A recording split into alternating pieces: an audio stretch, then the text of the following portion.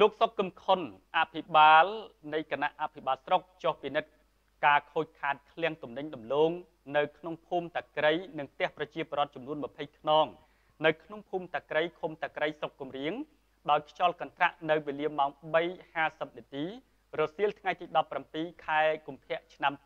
2019ម្សិលមិញនេះប្រជាពលរដ្ឋដែលរងគ្រោះរួមមានទី1គឺមានឈ្មោះថាហែមថ្លៃថ្លា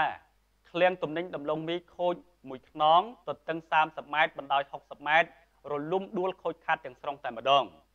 ទី2មានឈ្មោះថាអ៊ុនពិសីទី3ឈ្មោះថាមានសមឿន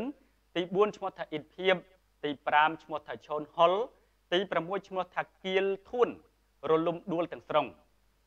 ក្នុងនោះបើករបើកដំឡូងអធិស្ឋ័យរបើកដំបូលចំនួន15ខ្នង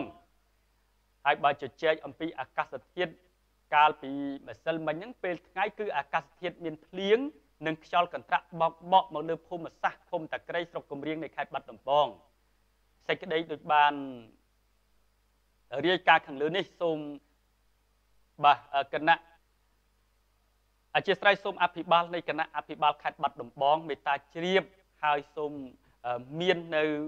ការជួយឧបត្ថម្ភជ្រោមជ្រែងទៅដល់បងប្អូនប្រជាពលរដ្ឋដែលទទួលរងគ្រោះ ដោយសារ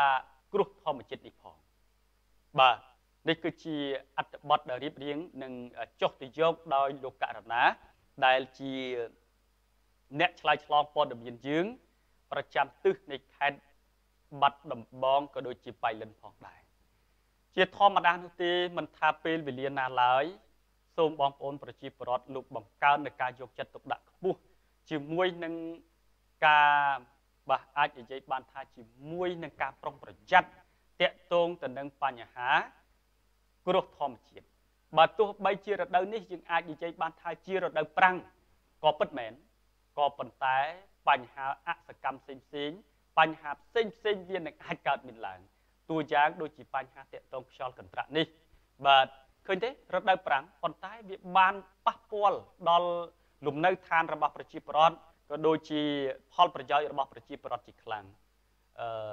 ឃ្លាំងដំឡូងមួយ គឺ30គុណនឹង60ខ្ទេចទាំងស្រុងតែម្ដង បាទ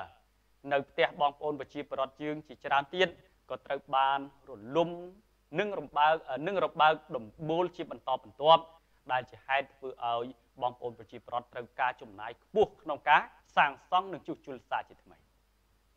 ទស្សនិកជនយើងងាកមកចាប់អារម្មណ៍តាក់ទងទៅនឹងករណីជាបន្ត